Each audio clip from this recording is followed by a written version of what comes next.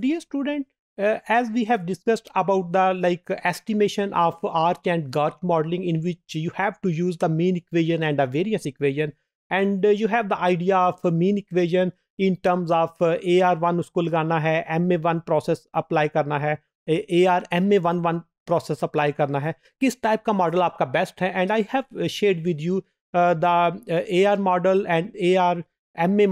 तो उसमें as per the Akaike information criteria and model selection criteria your A R one is the best model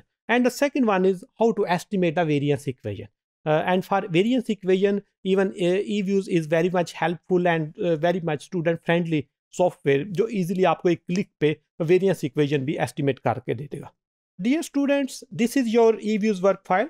और EViews work file में if we are going to use the data on inflation and you can use any of the variable you can collect the data on stock market on daily basis you can collect weekly basis monthly basis पे data ले सकते हैं वो आपको ज़्यादा intensity भी show कर सकता है even you can use the data on exchange rate you can use the data on inflation on uh, monthly basis you can collect the data on like weekly basis and this uh, data is available in pakistan bureau of statistics website and uh, i think that they are freely available as far as the inflation series is concerned,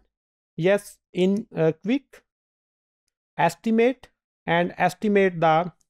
auto regressive conditional heteroskedasticity. Here I have to write the mean equation. And again you know about the mean equation which is inflation is your dependent variable, C is your constant. And uh, you have to add the inflation with one lag yeah इसको simple हम A R one process भी कह सकते हैं और उसकी base पे जब हम इसको आर्च अप्लाई करेंगे if we are like going to estimate the ARCH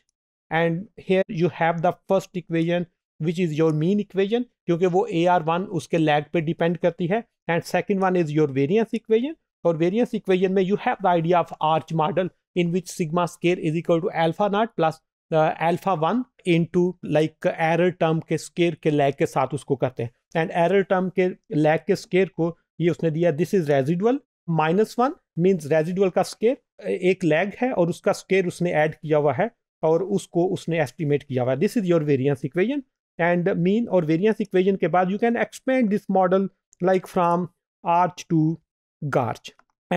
to compare which one is the best model like uh, if you have arch model your archaic information value is 5.58 और 5.58 से जब हम गार्च पे आए तो ये 5.24 हो गई। It means your GARCH model is comparatively better than your ARCH model. और इसमें जिस वक्त हमारे पास मीन और वेरियंस इक्वेशन है तो इन दोनों को हम कंपेयर करें। जिस तरह पहले मैंने बताया कि yes most of the time your GARCH one one model is best model. तो यहाँ पर भी ये बता रहा है कि yes as compare with ARCH GARCH model is comparatively best और यहाँ पे आप इजीली मीन और वेरियंस इक्वेशन को सेपरेट भी कर सकते हैं, उसके डायग्नोस्टिक्स को कंपेयर भी कर सकते हैं और यहाँ से हम वॉलेटिलिटी का पैटर्न भी चेक कर सकते हैं which type of volatility is existing और यहाँ पर उसको हम मॉडल स्पेसिफिकेशन के साथ वो ऐड करेंगे।